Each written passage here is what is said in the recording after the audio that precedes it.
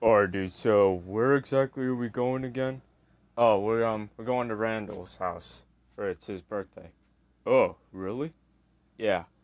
And um, it, it, I just got him a gift, uh, and a card, and you know I just, I I hope he actually appreciates this. What I actually got him. I spent like more than fifty bucks on that fucking gift and the card itself. So.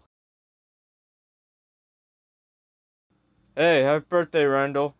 Yeah, whatever. Uh, who who are these people? Oh, um, I'm his uh friend, Frederick. Yeah, and I'm his other friend, Thomas. Oh well, it's nice to meet you too, I guess. Oh, and I um I got you a gift. Uh, you should open it. All right. Huh. Whatever. Dude, what the fuck? The hell is this shit? I at least get a thank you? No. Why not? You don't deserve it. You know what that's it, you motherfucking. Oh! Oh my god. You better get the fuck out of my house right now! Get out! Get out of here right now! You, go on, guys, let's just go.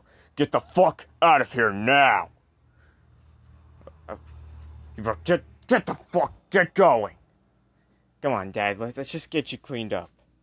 Thanks, sweetheart. Dude, what the fuck? Uh, I don't know, dude. He, I don't know why he's like this. I just don't get it. He just doesn't appreciate anything. Why does he act this way towards you? I don't know, babe. He just, he, I, I don't know. Is it because of all the things?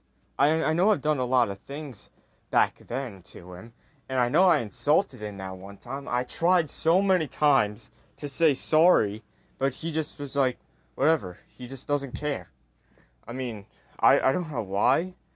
I mean, I, I I know for a fact that he doesn't like me.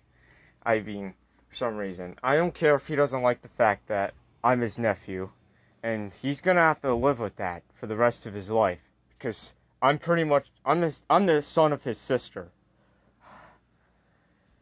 Yeah, it's true, man. He's kind of an asshole, dude. Uh, I I get it. Yeah, let's just. I just want to get back home. Yeah, that's a that's a good idea.